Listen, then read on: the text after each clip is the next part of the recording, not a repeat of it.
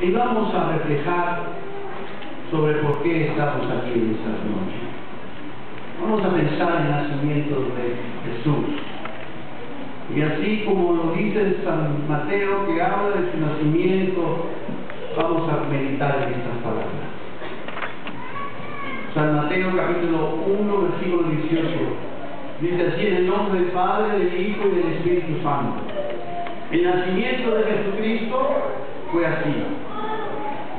Estando desposada María, su madre, con José, antes que se constase, se halló que había concebido del Espíritu Santo.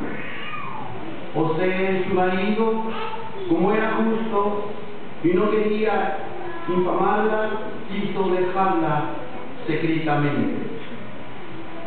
Y pensando en él, en esto, he aquí un ángel del Señor le apareció en sueños y le dijo, José, hijo de David, no temas recibir a María tu mujer, porque lo que en ella es engendrado del Espíritu Santo Y dará a luz un hijo y llamará su nombre Jesús, porque él salvará pueblo de sus pecados.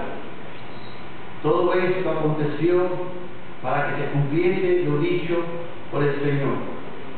Por medio del profeta, cuando dijo, He aquí una virgen concebirá y dará a luz un hijo, llamará su nombre Emmanuel, que traducido es Dios con nosotros.